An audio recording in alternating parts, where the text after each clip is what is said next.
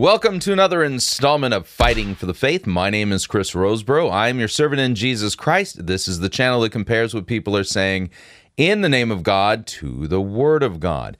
All right, today's episode of Fighting for the Faith, it's going to be different. It's going to be different in this sense. Um, it's going to be audio of a lecture, a Sunday school lesson that I delivered very recently uh, at uh, the, one of the congregations that I serve, Kongsvinger Lutheran Church in Oslo, Minnesota. Don't you know? Uh, the don't you know part's not actually part of their address. And uh, the name of the lesson was 2020, the uh, Mount Carmel moment uh, for the charismatic movement. 2020, the Mount Carmel moment for the charismatic movement.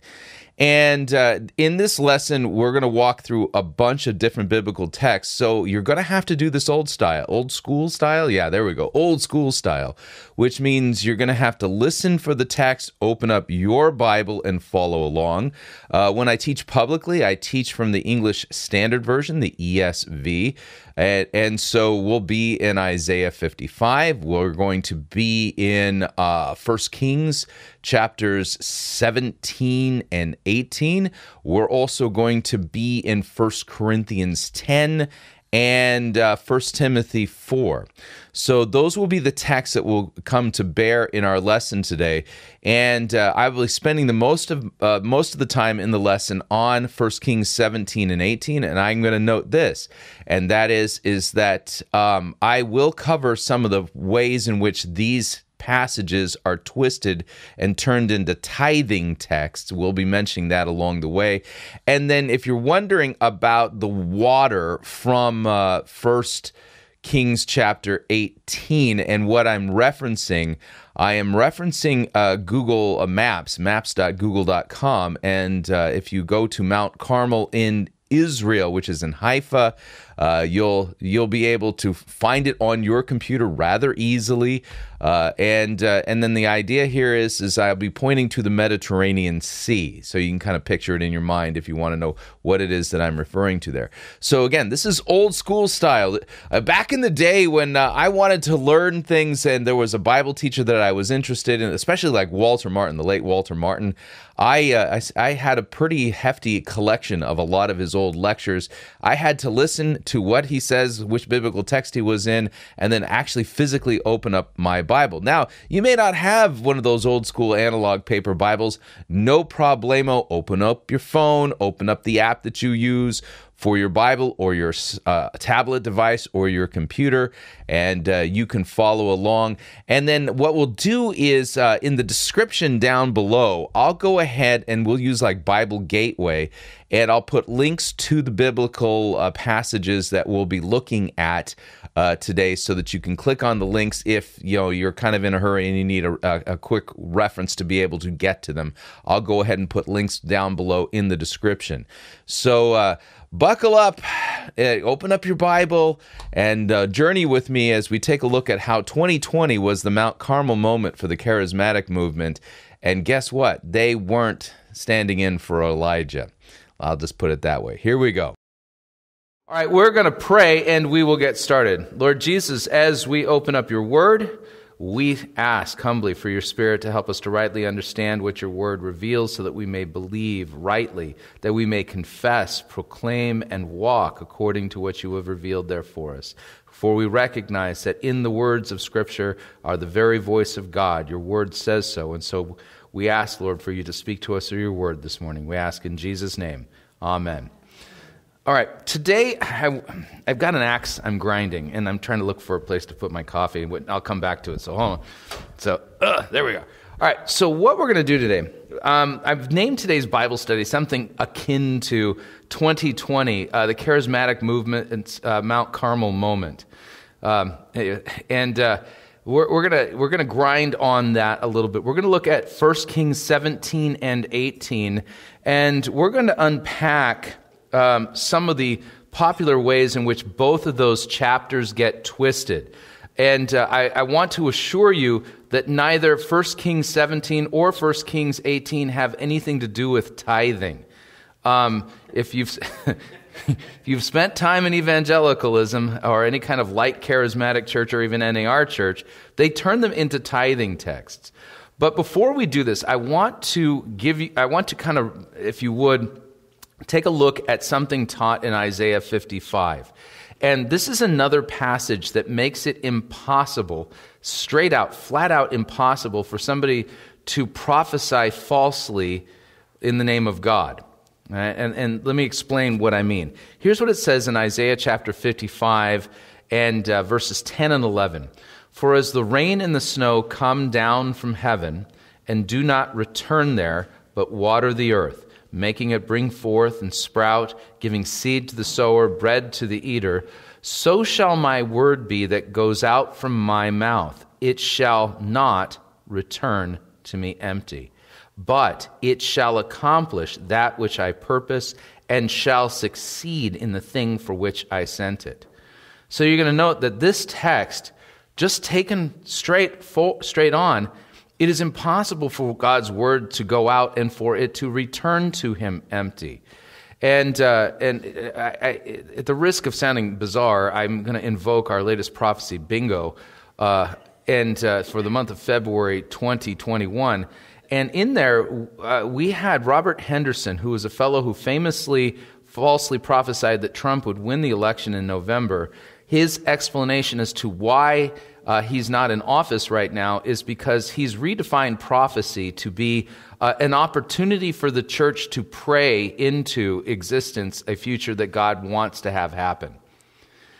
Which is nuts. In other words, it's your fault. If Trump, if you voted for Trump and, and you really wanted to be president and he's not president now, it's because you didn't pray into it enough and you, you missed your opportunity.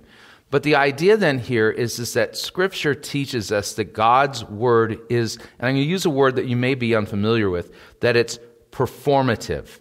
God's Word is performative. So, for instance, in Genesis 1, God says, Let there be light. Is there a choice for there to remain darkness? No, God's word performs what he sends it to do. So the idea then is, is that God, when he sends out his word, it will accomplish the thing for which he sent it. It will not return to him empty. And to say, Thus saith the Lord, and then, you know, it, the thing that you thus saith doesn't take place is absurd because that's saying that God's word is returning to him empty and that it failed to accomplish the thing for which he sent it. And that's not a biblical category. So you'll note there are many different ways that you can look at this, many facets, but at the end of the day, anyone who prophesies falsely is a false prophet. And to believe that you can be a true prophet after having prophesied falsely is to then believe by extension that God's word does return to him void and it is incapable of accomplishing the things that what God says. So if God had uh, actually said Donald Trump will win the election in November of 2020, Donald Trump would be in the White House right now because God's word always performs that which he sends it. All right? That's kind of our foundation. Now, turning to the focus of our study today, 1 Kings 17, and we'll do part of 18.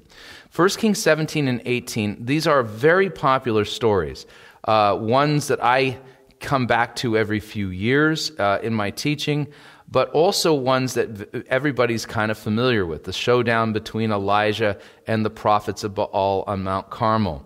And uh, if you always uh, are paying attention, I make a big to do about the three rules for sound biblical exegesis, and they are context, context, and context. So we're yeah. Thank you, thank you, Louise. Thank you. they, they were they were yeah. That's awesome. yeah.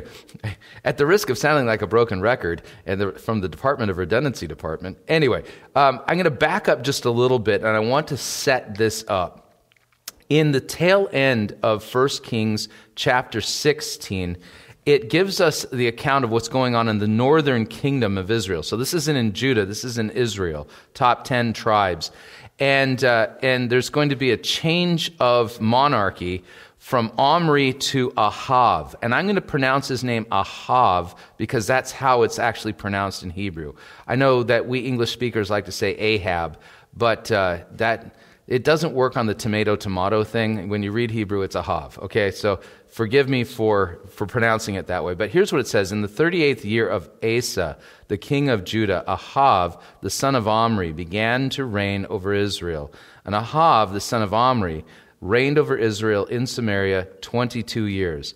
And Ahav, the son of Omri, did evil in the sight of Yahweh more than all who were before him. And if it had been a light thing for him to walk in the sins of Jeroboam the son of Nebat, he took for his wife Jezebel, the daughter of Ethbaal, the king of the Sidonians. And by the way, Jezebel, you could make an, a very good argument, and I've read Hebrew scholars on this, that a, the proper way of maybe understanding her name is that she is named Jezebel, which, and Jezebel means, watch this one, princess of Baal. Okay? In other words, she's a really lovely lady. Okay? she's just lovely. Okay, the, so she's the princess of Baal. And so you're going to note then that this is, this is the big change ever since the establishing of the northern kingdom, uh, the northern kingdom had deliberately gone into idolatry, but now their idolatry is ramped up. And you need to know kind of the religious narrative as it surrounds Baal. Baal means Lord, and Baal is the Lord who is the one who brings the rain. But before Baal is going to bring the rain, uh, the followers of Baal must bring the requisite sacrifices and offerings and perform the proper rituals.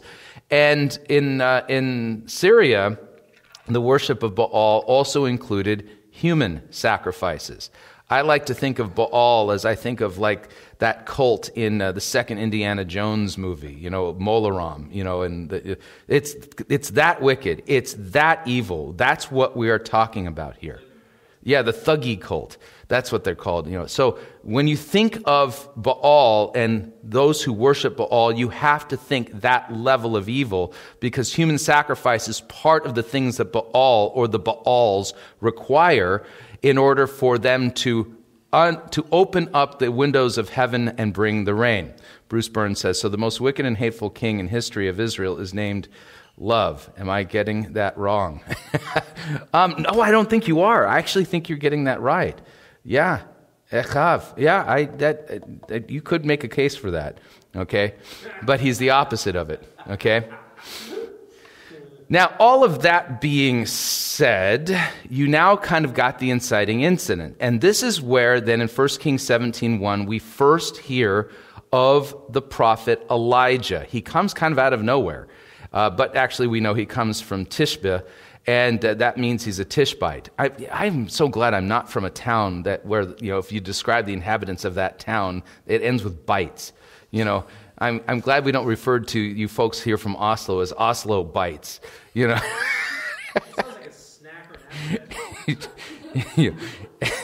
anyway, you know, anyway, all right. So you get the idea.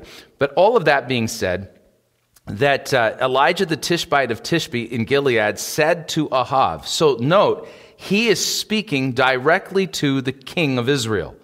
So God has sent him. A prophet is one who speaks for another, specifically a deity. And here's the message As Yahweh, the God of Israel, lives, before whom I stand, there shall be neither dew nor rain these years except by my word. Now, that's the message God has sent. And I'm sure Ahav went, Yeah, right. You're bothering me. Be gone. Right? And so that was the message. And then the word of Yahweh came to him Depart from here, turn eastward, and hide yourself by the brook Cherith, which is east of the Jordan. And you shall drink from the brook, and I have commanded the ravens to feed you there. So he did according to the word of Yahweh. He went and lived by the brook Cherith, that is east of the Jordan. And the ravens brought him bread and meat in the morning, bread and meat in the evening, and he drank from the brook. Now, a little bit of a note here. We, uh, a while back ago, did a, a, review of a fellow who did a sermon on this. um, on this text, and he totally allegorized it. And the, the idea was is that when God gives you a vision for your life, there's going to be opposition. And so, what's your brook, Cherith? And don't worry, God's going to send the ravens to feed you. And it, it, in hearing that, it was one of those times where I wanted to reach to my computer screen and pinch that guy's head and pop it like a pimple. And, uh, you know, because uh, just how dare you, you know, twist these texts this way. So I assure you, number one, you do not have a Brook Cherith moment coming in your future. And personally, I'm glad about that because even if God sent ravens with meat for me to eat, I would be reticent to eat it. I'm not a big fan of ravens. And uh, I would make my wife cook that thing to like hockey puck status before I would even consider chewing on it. But that's a whole other story. Okay? So, what we're looking at here, this is a historical narrative. These are historical accounts. And this is where we have to pay attention to one of the distinctions that we see in Scripture. And that is, is that there are historical events that when they are interpreted spiritually for us, the doctrines regarding those events then are, are hooked together to them. But for instance, I, I like to point out if I were to travel back in time to Jerusalem, I were to travel back in time to Jerusalem, and I was there on the day that Christ was crucified. All I would see with my eyes are the events that are recorded historically. I would see a man suffering, bleeding, and dying. In fact, three men suffering, bleeding, and dying on the cross. I would see the sun darkened. I would feel an earthquake. I would hear one of these men crying out, It is finished, and then dying. But here's the thing all of that is history. When you then say these words, Christ died for our sins, that's doctrine. Doctrine connected to the historical events.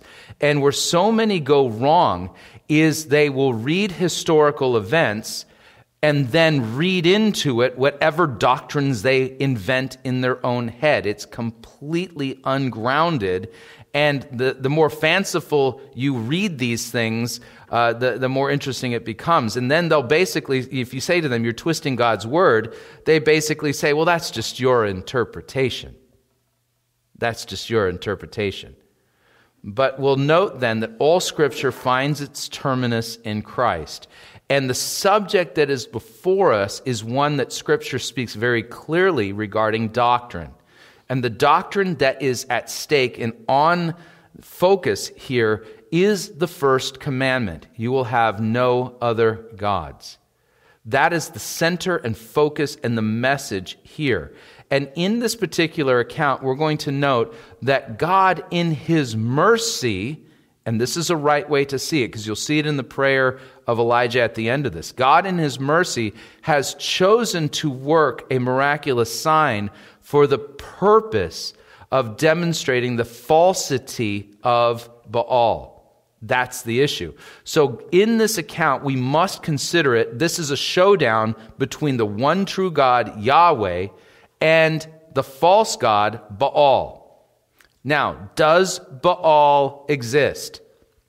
No.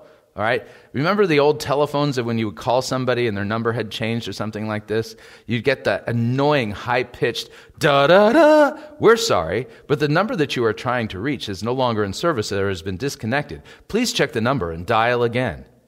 Yeah, remember that?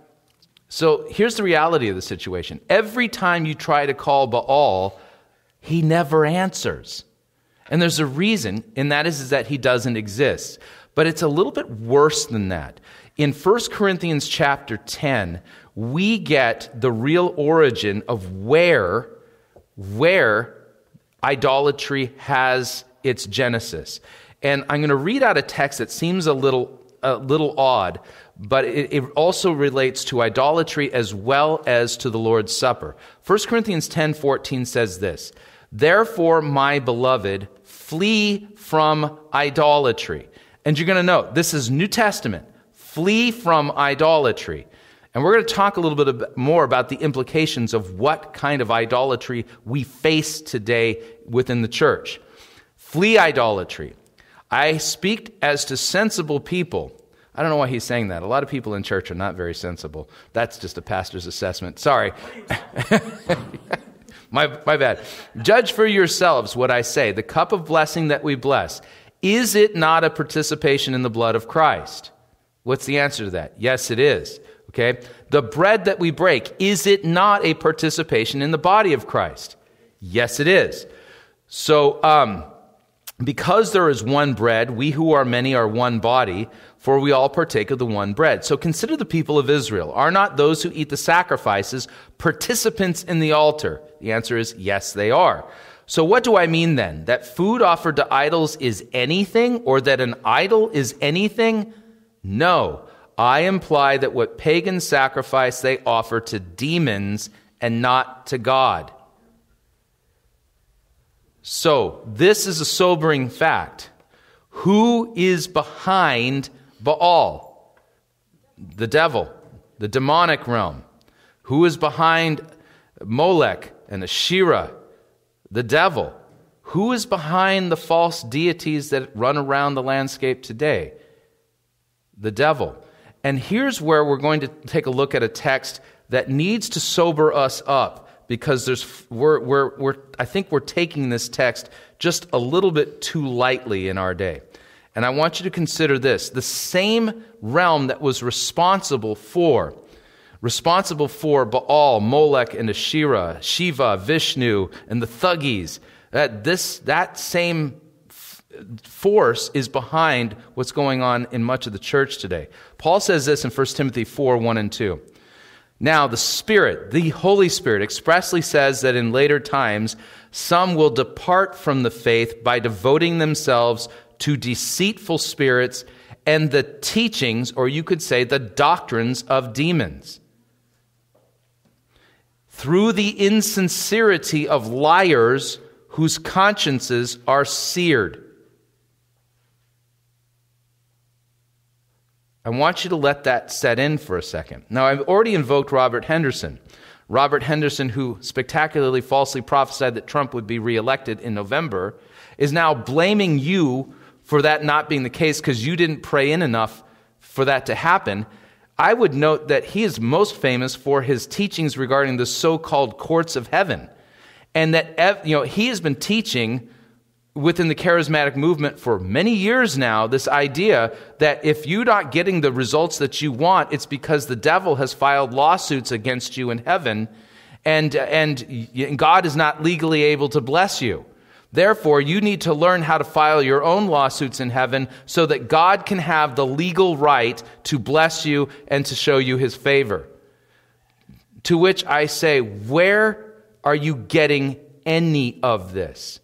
I would note that in the comment section of uh, our YouTube channel, recently we had several people who left comments saying, asking the question sincerely Do I need to file lawsuits in the court of heaven in order to, to get what I need from God in answer to prayer? No.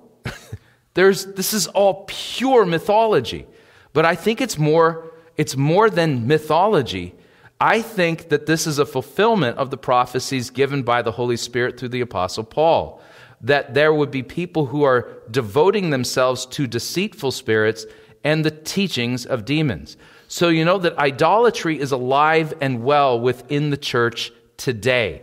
And let me give you another quote on this. If we go to 2 Corinthians chapter 11, I would, I would note that the Apostle Paul here in 2 Corinthians chapter 11 is trying to very delicately, delicately defuse a bomb that was put into the, the church in Corinth by these, a group of guys who called themselves, get this, they called themselves super apostles. Okay? Well, that apostle Paul, he might be an apostle, but he's not the best one because, I mean, after all, he's not very gifted in his public speaking. And have you seen him? I mean, he's cross eyed and he has a hook nose. I mean, that's how he's described in, by the ancient church. And he doesn't speak very well in public. And have you ever noticed that the Apostle Paul doesn't charge you money when he comes and preaches here? Well, that's because he knows that nobody would pay a slug nickel for it. But we're so gifted. We're not apostles, we're super apostles, and we're going to charge you top dollar for our services. But don't worry, we will wow you with all kinds of great stuff. That's what's going on there at the church of Corinth. So, Paul then diffusing this to basically get the people in Corinth to wake up to the fact that there's no such thing as a super apostle and that these guys are not bringing them the truth. He says, I wish you would bear with me in a little foolishness. Do bear with me. I feel a divine jealousy for you since I betrothed you to one husband to present you as a pure virgin to Christ. But I'm afraid that as the serpent deceived Eve by his cunning, your thoughts will be led astray from a sincere and pure devotion to Christ. And I would note, it is not a small thing for the Apostle Paul to invoke the serpent of the Garden of Eden.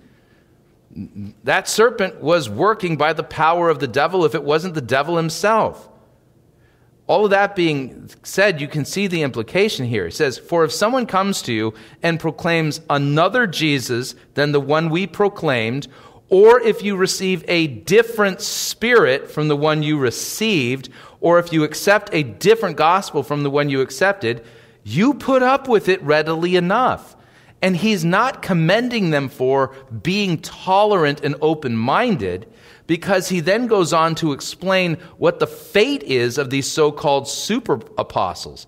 And so um, he says in verse 13, such men are false apostles they are deceitful workmen, disguising themselves as apostles of Christ, and no wonder, for even Satan disguises himself as an angel of light. So it is no surprise if his servants also disguise themselves as servants of righteousness, and their end will correspond to their deeds. And he's not saying that they're going to join the choir invisible, praising Christ with a harp on the day of glory. He's saying that their, their end is hell. That's what we're talking about here. So I want you to consider then, as we look at this Mount Carmel moment, the question that I would like to ask in the context of idolatry, if we were to kind of find a application today, is does the charismatic, Pentecostal, and NAR movements worship a false spirit? That's the question.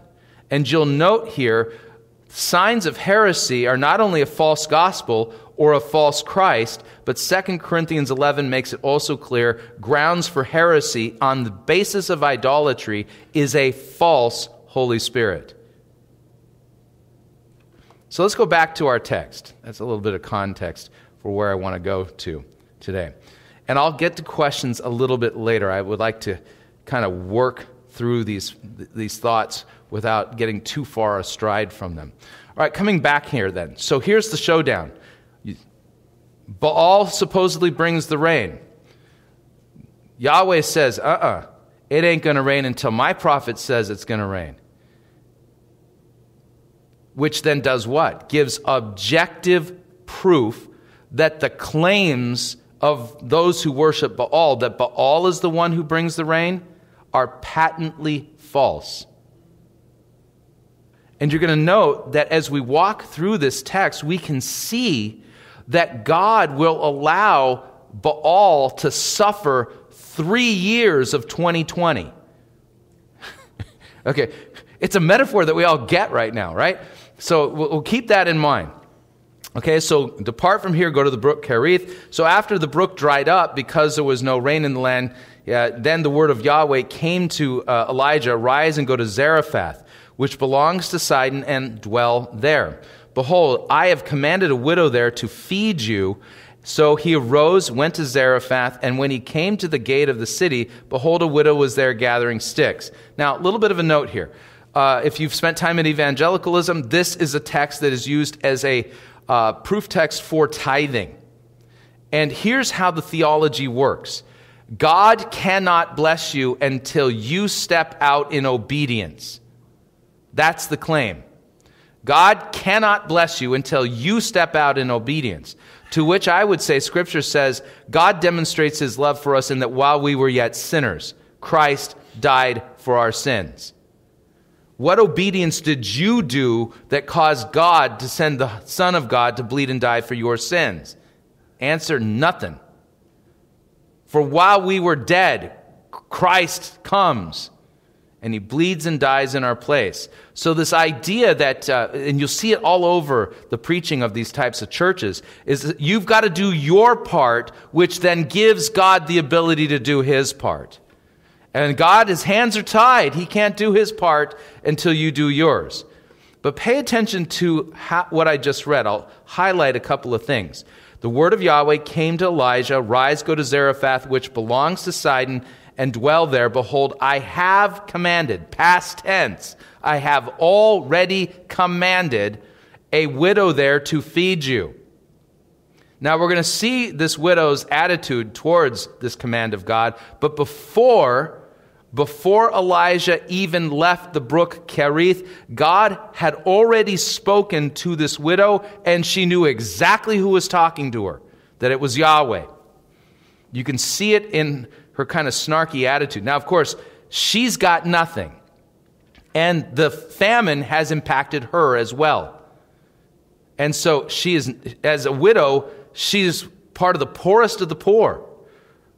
You know, let's just say that the life of widows wasn't one that was opulent in the ancient world. Far from it. Far, far from it. So, who does God send Elijah to? The poorest of the poor. And so he had already commanded her to feed Elijah. So Elijah rose, went to Zarephath, and when he came to the gate of the city, behold, a widow was there gathering sticks. So Elijah, being a prophet, knows that's the gal. And so he strikes up a conversation with her. And he said to her, Bring me a little water in a vessel that I may drink. And now out comes her attitude. And she, as she was going to bring it, he called to her and said, Bring me a morsel of bread in your hand. And she said, As Yahweh, your God, lives. Okay, notice it's not her God. She already knows that Yahweh's spoken to her. She knows what the name of God is. As Yahweh, your God, lives, I have nothing baked, only a handful of flour in a jar and a little oil in a jug. Now, I, when, when I read these words, I think about what she sounds really annoyed. She sounds kind of like this is just irritating for her. God has commanded her to feed uh, a, a, this prophet, and she's got nothing. And it's kind of like when I come home sometimes and I look at my wife and she's not right, and I say, "How you doing, honey?" And she says, "Fine." Okay, that is a four-letter word, and when my wife says "fine," I make I don't make eye contact because if I do, I'll be dead. Okay, Yes, it's, it, it's, it is trouble time. Okay, so if Elijah had asked her, Hi, how you doing? She would have said, Fine. Okay, that's kind of the attitude going on here. All right. and then she says this, and now I am gathering a couple of sticks so that I might go in and prepare it for myself and my son so that we may eat it and die. Well, that's a great answer. And you're going to note here that Elijah, he doesn't say, "Oh, don't worry, you're not going to die" or anything like that. He says, "All right, you know, don't fear. Go do as you said. If you, you go ahead, go ahead and die if you want." Which I think is just great diplomacy. Anyway, so he says, "But first, make me a little cake of it, and then bring it to me. Afterward, make something for yourself and for your son." And I'm going to note here before this woman has done anything, while she's still in the presence of Elijah and their first meeting, the God who commanded her to feed Elijah then reveals to her through the prophet that he will miraculously provide for her the means to sustain the prophet and herself. And it's given as a gift, it's given as a promise. It is not contingent upon her obedience at all because before she did anything, one way or another, the promise was there. And remember what we read in Isaiah 55. When God sends his word out, it performs the thing for which he sent it. It is performative. That means since God is the one who said, Your flour and your oil will not run out, because he said that, will her flour and oil run out? Nope, not until the time when he says it will. And so that's the point. It is based upon the God who sends his word, and his word performs that which for which he sent it. It is not based upon her obedience, and it's a twisting of this text to make it otherwise. For thus the, the Yahweh, the God of Israel, says, The jar of flour shall not be spent, the jug of oil shall not be empty until the day Yahweh sends the rain upon the earth. And so she went and did as Elijah said. And she and her household ate for many days. The jar of oil was not spent, neither did the jug of oil become empty, according to the word of Yahweh that he spoke by Elijah. Now, you'll note that in their first meeting, is this woman, the widow of Zarephath, a believer in Yahweh? No, because Yahweh is Elijah's God.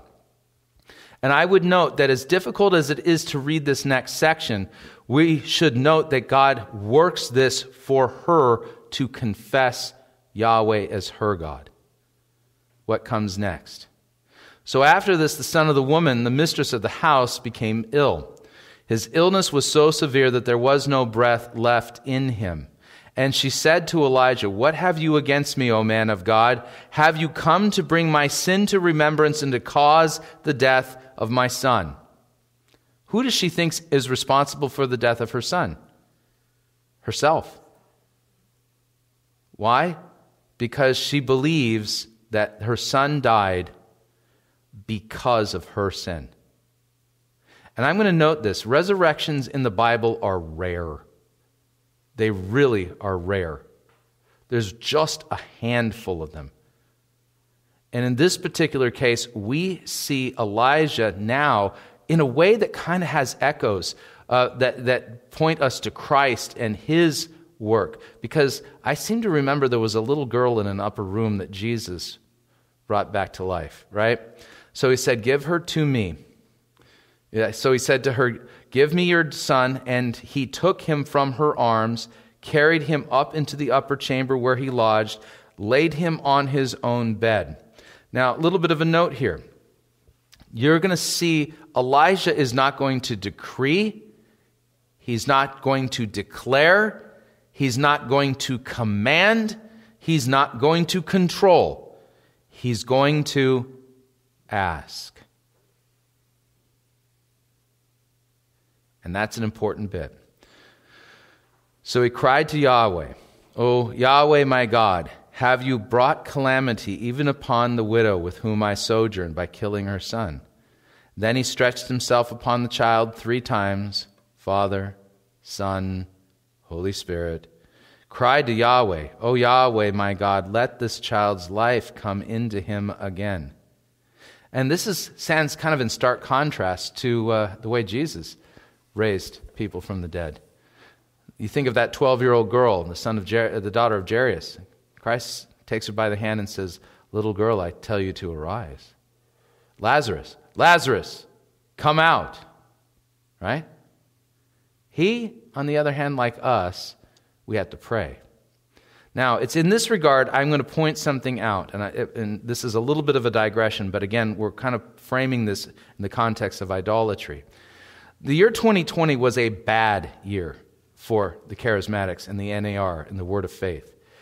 Not only did all the prophets fail to see COVID coming, we spectacularly watched Kenneth Copeland and others make buffoons of themselves, commanding and controlling COVID 19 and the pandemic to come to an end and the vaccine to come immediately. How'd that work? And then they prophesied Trump was going to win the election. How'd that go? And they all claimed that, that despite the fact that it looks like he lost, that God was going to place him into office on the 20th of January. That didn't pan out. And now some of them are still saying that they refuse to concede and they believe that he will take office sometime in March or April. Cognitive dissonance is strong with them. But I would note this that their woes didn't begin in 2020. Their woes began in 2019. If you remember in December of 2019, that was when the little girl of one of the worship leaders at Bethel died. Her name was Olive. And for two weeks, Bethel refused to bury her. Her corpse sat in the refrigerator at the county morgue in Redding, California. And it was not in good condition when they buried it. And for two weeks, They were commanding and they were controlling and they were decreeing and they were declaring what? For Olive to rise from the dead. And their slogan was, Wake up, Olive.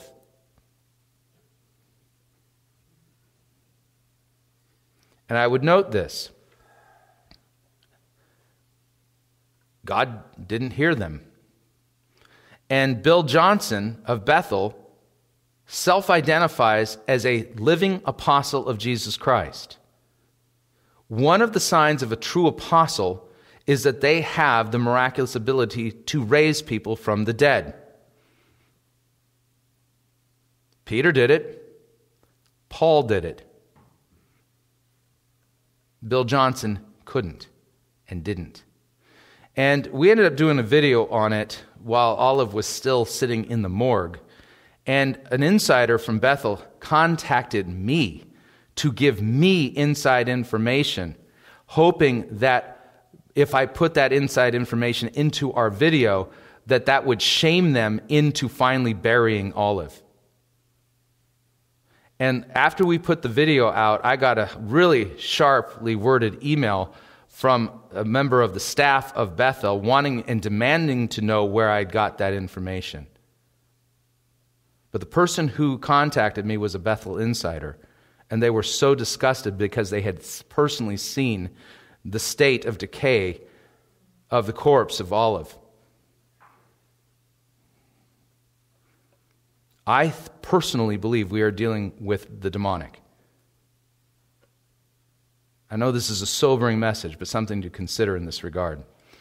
Elijah, true prophet of God, he called out to God humbly, asked God to revive this child and for his life to come back to him. And Elijah took the child, brought him down from the upper chamber into the house, and he delivered him to his mother. Elijah said, See, your son lives. And the woman said to Elijah, Now I know that you are a man of God and that the word of Yahweh in your mouth is truth. Note, this is a sign.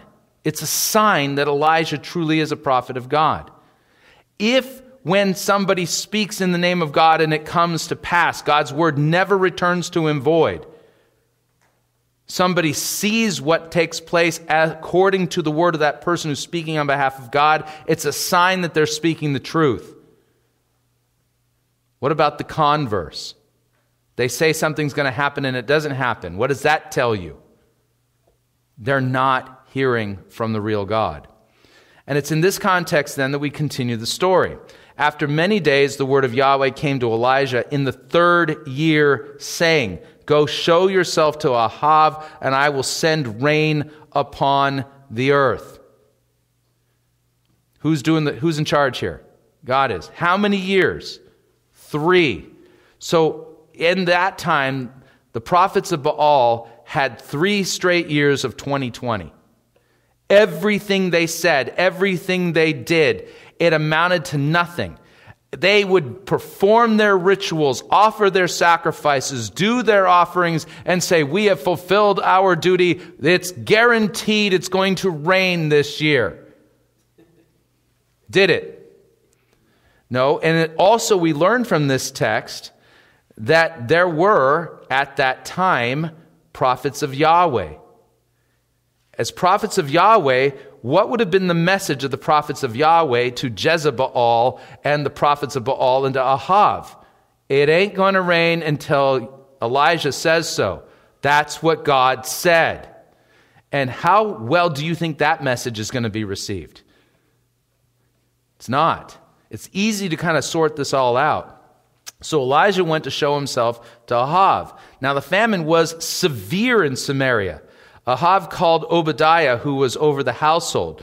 Now Obadiah feared Yahweh greatly, and when Jezebel cut off the prophets of Yahweh, cut off is a polite way of saying she killed them. Like, cut off what? Their heads. Okay? And we can see how this went down. It, it doesn't take rocket surgery to kind of figure this out. So, year one, having not rained for 12 months, they do their sacrifices. They offer their offerings. They spill their blood. They kill somebody according to the rules of Baal and they, to fulfill his need. And they say it's going to rain this year. Prophets of Yahweh are saying it ain't going to rain until Elijah says so. And guess what? It doesn't rain. Ahav comes home to the palace. Honey, how are you doing? Fine. Right? fine. I'm fine. Okay, but what's, what's she upset about? She's mad. She's furious because you got the prophets of Yahweh saying it ain't going to rain. You have her prophets, and she's the princess of Baal, her prophet saying it's going to rain, and it's not raining. And here's the thing you would think that she would sit there and go, maybe Baal isn't real. Okay? But it says that at some point she cut them off maybe year two, okay? Year two comes around, they offer all those sacrifices, and all the prophets of Baal saying, It's going to rain this year. Prophets of Yahweh say, It ain't going to rain until Elijah says so. And her response is, Kill him. And they're cut off. Now, Obadiah, who works in the palace, he fears the Lord, and it says he took a hundred prophets, hid them by fifties in a cave, and fed them with bread and water. I'm sure the sanitary conditions there were great, right? So Ahab said to Obadiah, Go through the land to all the springs of water, to all the valleys. Perhaps we may find grass and save the horses and the mules alive and not lose some of the animals. So you can tell, I mean, the fact it's not raining, that's a big deal. The animals are dying, humans are suffering. So they divided the land between them to pass through it. Ahav went in one direction by himself, Obadiah went in another direction by himself. And as Obadiah was on the way, Elijah met him, and Obadiah recognized him and fell on his face and said, Is it you, my Lord Elijah? And he answered and says, It is I. Go tell your Lord, behold, Elijah is here. And Obadiah just shows that this man has been abused and, and just under the thumb of Ahav and Jezebel, I mean, what comes out of him is absolute terror. He says, How have I sinned that you would give your servant into the hand of Ahav to kill me? As Yahweh your God lives, there is no nation or kingdom where my Lord has not sent to seek you. And when they would say he's not here, he would take an oath of the kingdom or nation that they had not found you. And now you say, Go and tell your Lord, behold, Elijah's here. And as soon as I've gone from you, the Spirit of the Lord will carry you to I don't know where. So when I come and tell Ahav and he can't find you, he will kill me, although I, your servant, have feared Yahweh from my youth. Does this sound like this guy's had a good three years? Okay? He's a little frazzled, okay? the ends are a little frayed. All right? And then he says, Has it not been told to my Lord that I what I did when Jezebel killed the prophets of Yahweh, how I hid a hundred men of Yahweh's prophets by fifties in a cave, fed them with bread and water? So he invokes the fact that they were killed. And now you say, Go tell your Lord, behold, Elijah's here. He will kill me. And Elijah said, As Yahweh Savaoth. Now, we see the word hosts, and we think, you know, black tie with hors d'oeuvres. You okay? okay. The Hebrew word savah means army. All right? So note here, invoking Yahweh Savaoth, the God of hosts, the God of armies, basically he's saying, We're going to war, buddy. All right? As Yahweh Savaoth lives, before whom I stand, I will surely show myself to him today. So Obadiah went to meet Ahav and told him, and Ahav went to meet Elijah. Now, this next part, I want you to pay close attention to this. All right?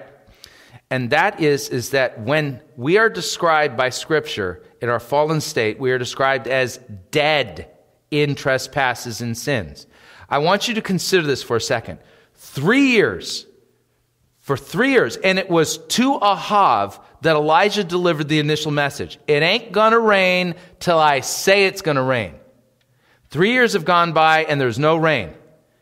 The proper response for Ahav in his first meeting with Elijah in three years is to say, You were right, I was wrong. Baal doesn't bring the rain. I'm sorry. Please pray to Yahweh that he would forgive me. That is the proper response. Never underestimate just how dead dead is in dead in trespasses and sins. Because when you are that dead, and we all were at one point, you believe that evil is good and that good is evil. That's how backwards, upside down, and inside out you are. So Ahab says to Elijah, he says, Is it you, you troubler of Israel? really? Really? And you'll note Elijah just has none of it. He just fires back immediately. I have not troubled Israel, you have. You and your father's house, because you've abandoned the commandments of Yahweh and you have followed the Baals. Now, therefore, send and gather all of Israel to me at Mount Carmel, and the 450 prophets of Baal and the 400 prophets of Asherah who eat at Jezebel's table. All right, big showdown here at this point. Now, at this point, I'm going to do a little bit of an aside. In evangelicalism, what comes next is now used as a tithing text. And the way it goes is, is that if you guys remember how the story is going to go, when Elijah finally offers his sacrifice, he's going to have it doused with water. How many times? Three times. And so the question comes up where did they get the water during a famine? Where did they get the water? So, the way the evangelicals and the charismatics are using this text, they say, well, this proves that you have to tithe. If you want the fire to fall from heaven on your finances, you first have to give, you have to give up your precious commodity of water, money, in order to get the blessing of God. Now, we're just going to go and do a little bit of the obvious here. On the screen in front of you, I'm going to put everybody down here for a second here. On the screen in front of you is a satellite view of Mount Carmel. That's where we're at. Okay? And I'm going to zoom out for just a little bit here. And you're going to note, I'm going to zoom in just a smidge here. So here is Mount Carmel National Park. Not too far from this site, then, is the actual physical place where the showdown took place. And this is in Haifa today in Israel. That's where it's located. So the question is in the middle of a drought, where does one find enough water to douse a sacrifice three times? Well, let's take a look.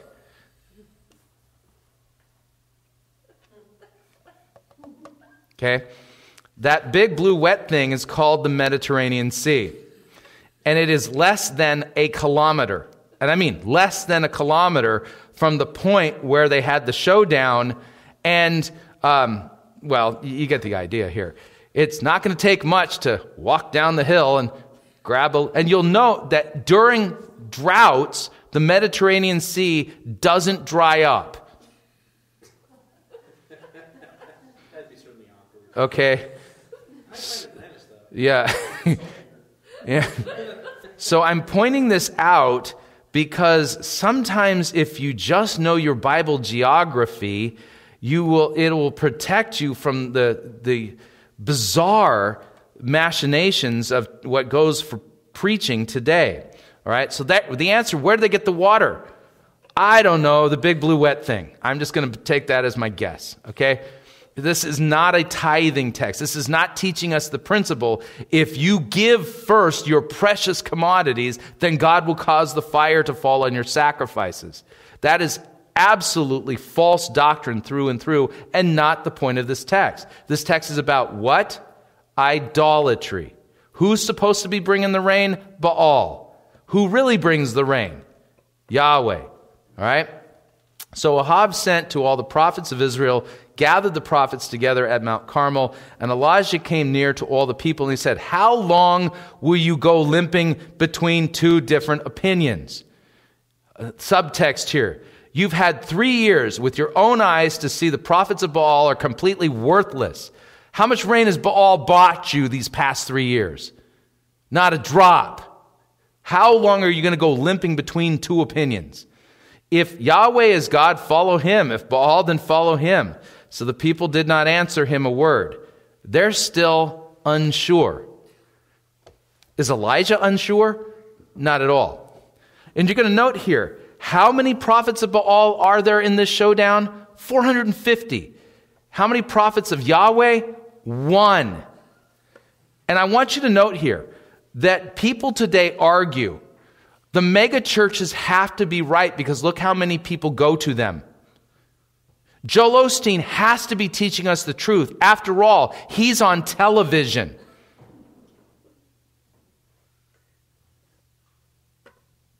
Does might make right when it comes to theology?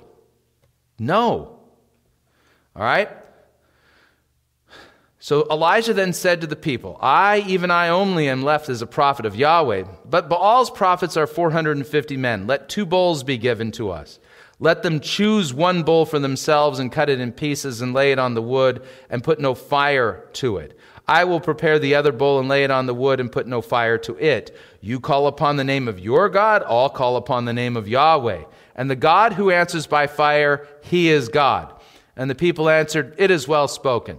All right. It's a showdown to the death, if you would.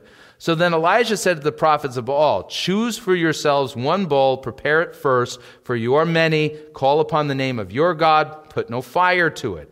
And they took the bull that was given to them, and they prepared it, and called upon the name of Baal from morning until noon, saying, O Baal, answer us. Do do do. We're sorry, but the number you're trying to reach is no longer in service or has been disconnected. Please check the number and dial again. Right? No answer. There was no voice. No one answered. They limped around the altar that they had made. I'm sure this was quite the spectacle. Hours and hours and hours. So at noon, Elijah mocked them. And yes, Elijah mocked them. yeah, that's right. He clearly has a spirit of divisiveness, you know, and he's just being arrogant. You know, it's just nonsense, okay? I would note that Jesus Christ himself said to the Pharisees, You brood of vipers, roughly translated, you whose mothers are snakes, you are whitewashed tombs. Outwardly, you appear beautiful, but inwardly, you're full of dead men's bones. Oh, yeah, Jesus did some name calling too. All right? So at noon, Elijah mocked them, saying, Cry aloud. He is a God. He either he is musing or, and I got to laugh at this because the English is so sanitized. Okay? Or he is relieving himself. Let, let me get it a little bit closer to the way the Hebrew reads. Maybe your God's taking a dump. Okay? Well, that's not very loving. oh, wait a second. Excuse me, but showing that Baal is a complete farce is the most loving thing that you could do. For these people to be entrapped and ensnared and enfra- afraid to say the obvious. Well, Baal's done nothing for us for three years. Of course, Yahweh's God. For Elijah to point out that that deity is an absolute demonic farce and he's incapable of even clipping your toenails, that's a good thing. It's a loving thing to open, to wake up, wake them up from the stupor and the deception that they're under, the delusion that Baal brings these things, right? So cry louder. He's musing, he's taking a dump. Maybe he's on a journey. Perhaps he's asleep and must be awakened. So they cried aloud and they cut themselves after the custom with their swords and lances until the blood gushed out upon them. And as midday passed, they raved on until the time of the offering of the oblation. So here you got 450 men bleeding, blood all on the ground. And I'm going to note this that God does not demand a sacrifice of you, He provided the sacrifice for our sins. Christ is the one who bled in your place. He does not call on you to cut yourself. The text says, No one answered, no one paid attention. Right? And then Elijah said to all the people, Come near to me. And all the people came near to him. By himself, by himself, the only one there who trusts and believes in Yahweh. He repaired the altar of Yahweh that had been thrown down. Elijah then took 12 stones according to the number of the tribes of the sons of Jacob, to whom the word of Yahweh came, saying, Israel shall be your name. And he reminds them then what their real name is Israel, you are the ones who wrestle with God, the one true God. And with the stones he built an altar in the name of Yahweh. He made a trench about the altar as great as would carry, contain two seahs of flour. That's really about only seven liters. One man couldn't really scratch out much of a trench, but yet he did. And he put wood in order, cut the bull in pieces, laid it on the wood. Hmm, laid it on the wood. That seems to recall a particular sacrifice I know about. And then he said, Fill four jars with water, pour it on the burnt offering and on the wood. And he said, Do it a second time. And they did it a second time. And he said, Do it a third time. And they did it a third time. And the water ran around the altar and filled the t- trench also with water. Three times. In the name of the Father, and of the Son, and of the Holy Spirit.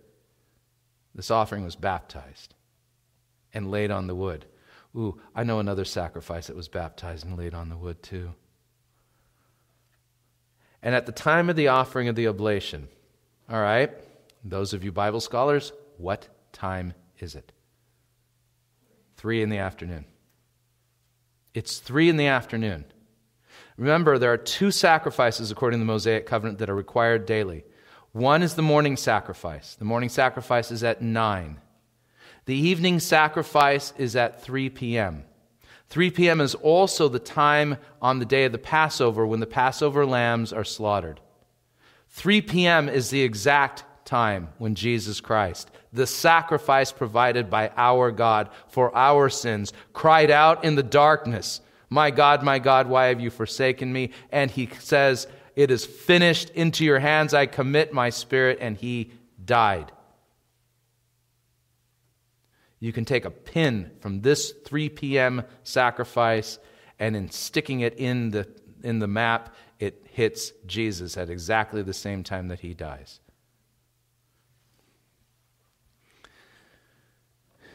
So Elijah the prophet came near and he said, O Yahweh, God of Abraham, Isaac, Israel, let it be known this day that you are God in Israel, and that I am your servant and that I have done all these things at your word.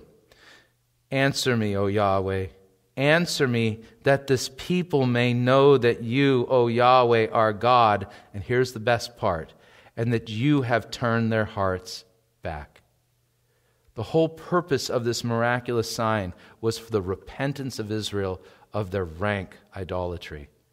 That God Himself, in His mercy and kindness, took away all reason for doubt and instead gave them reason to believe, so that he was the one who was turning their hearts back to himself. Not that he would condemn them, that he would forgive them.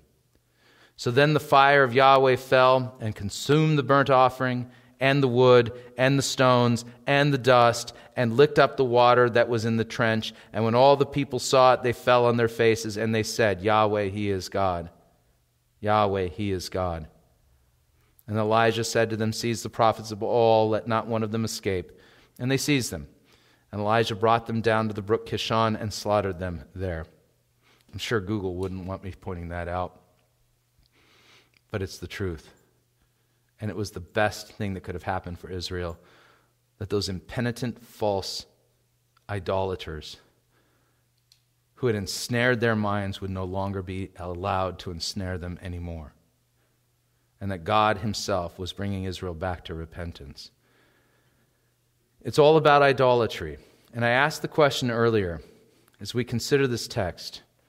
I think it's time for the church to consider the reality that we have idolaters within the visible body of Christ who worship a false spirit. That according to the spirit that they worship, they failed to see COVID coming, According to the utterances of their spirit, they were unable to stop the pandemic despite their decrees and their declares. They also falsely prophesied that Trump would win re election. And then when that didn't happen, they said that he would still be inaugurated on January 20th.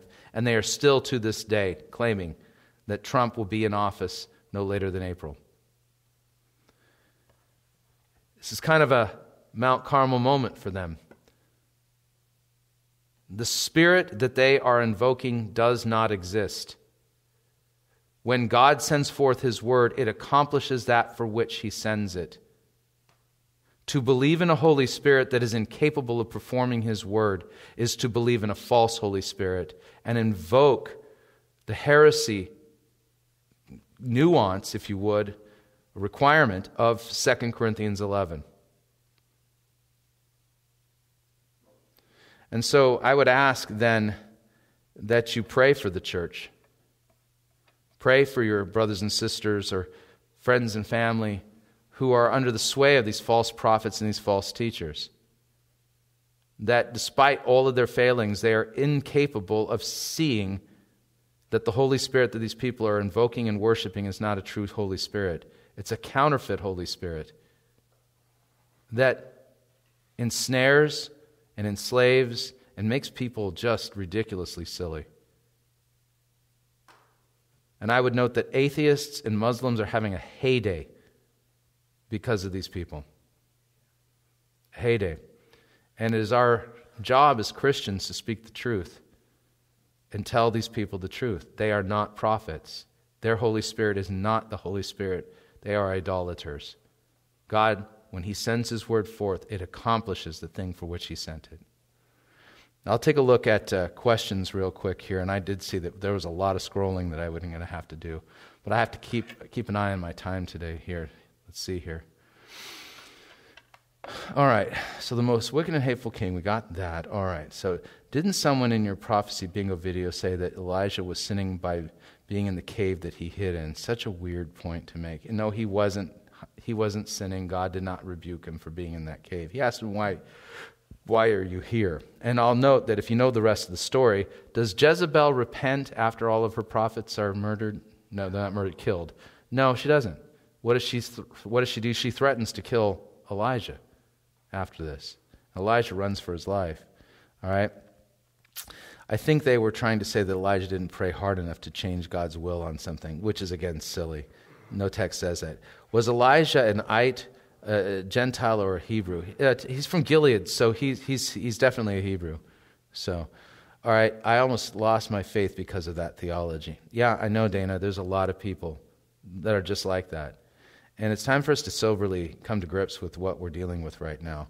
2 Timothy 4 4, they shall be turned into fables. Yep, Jesus never told his followers to file TPS reports in order for their prayers to be answered. That's true. That's true. Don't forget that cover sheet on the TPS report. And they're only good if you, if you actually make them on a Saturday. I just want to make that clear.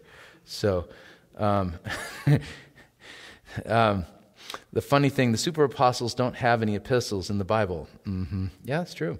Uh, yes, can't forget that cover sheet. All right, let's see here. I have a copy on my desk. There's a lot of banter here. Uh, all right, let's see. Mm. I don't get why they keep giving prophecies even though none of them have come to pass. Uh, Marab, here's the thing is, is that the prophecy regarding these people is that they are liars whose consciences are seared. And, you know, I'll be blunt. If I spoke a prophecy and said that God said something was going to happen and it didn't happen, I, I would be too ashamed to show up in public ever again. You wouldn't have to remove me from my office I, I don't think I'd show my face ever again because I had clearly deceived people and had been deceived. That's not how it works with these people. Scripture says of them that their consciences are seared, so they have no conscience. They continue to lie in the name of God, and their prophecies keep not coming to pass. And what do they keep doing? They keep prophesying. And this shows you that their hearts are stone hard. I mean, you can't even cut their, their hearts with a diamond, you know, blade at this point. Nothing's going to pierce this. So that's the reason. Uh, you can raise the dead, you can control the weather, you can blow disease away. If we said this to others, they'd put us away. Yep. Yet people follow and send ridiculous amounts of money to these charlatans. Yeah, indeed. You know, how's my uh, how's the uh, budget item for my private jet this year? It, it, never, it never made it past the church council. We're, we're still uh, $60 million away from that. Okay, just checking. Okay. Yeah. Hey, I'll take that. we'll talk. New shoes would be nice. I'll take that. Okay. Okay. All right. So institutionalizing the mentally ill in today's society. Yeah, yeah. So why do they continue in idolatry after predicting falsely? Maybe their conscience are seared. Right, Elizabeth, you got it. Okay. For this reason, God sends them a strong delusion so that they'll believe a lie. Yep. And so they will be condemned. That's right scratching itching ears. I think you all get it. All right. So, all of that being said, I have to wind up here. So, um, I, I know I, this was something I was grinding on, and it was a, a, a, lesson I really wanted to teach and you know, kind of explore the, the topic of idolatry and its implications for the church today as it considers that Old Testament text. I hope you found this helpful. So, uh, Lord willing, we will see you next time. Peace. So, what'd you think? Hopefully, you found this resource to be helpful, biblical, maybe even provocative. Uh, the things I'm saying need to be said and they need to be shared within the body of Christ. Uh, later in the week, we hope to uh, cover uh, Fred Price and his passing. And uh, note that he passed from COVID 19. And we're going to note that Fred Price also had a Mount Carmel moment in his death. So I want to prepare you for that in advance. I think we need to be firm, strong, and basically say enough is enough. Uh, what the charismatic movement is delivered to us is spiritual poison and cancer, and it is hurting people deeply in faith in body as well as in finances. And it's time for the body of Christ to say, enough is enough. So if you found this resource to be helpful, all the information on how you can share it is down below in the description. And until next time, may God richly bless you in the grace and mercy won by Jesus Christ and his vicarious death on the cross for all of your sins. Amen.